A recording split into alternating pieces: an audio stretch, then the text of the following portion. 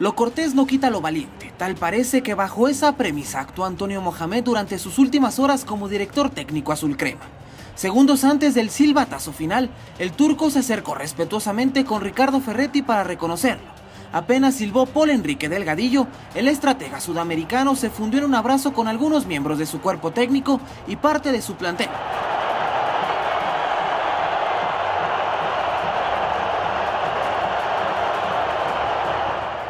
Para posteriormente dirigirse a los vestidores sin dar declaración alguna.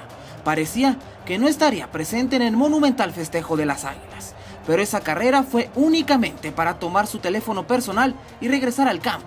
Ahí, Mohamed no se cansó de retratar a sus futbolistas ya con las medallas de campeón, además de abrazarse con Ricardo Peláez, Pepe Romano y John de Luisa de manera efusiva. El momento estelar de la noche llegó cuando el estadio completo coreó al turco, mientras él besaba el escudo del América que porta en el bolso de su saco.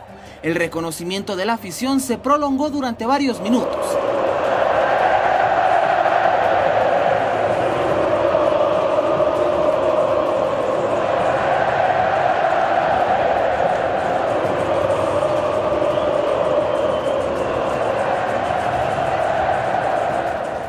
Ya en conferencia de prensa, Mohamed aseguró que su único plan es pasar unas merecidas vacaciones en compañía de su familia y descansar durante algún tiempo.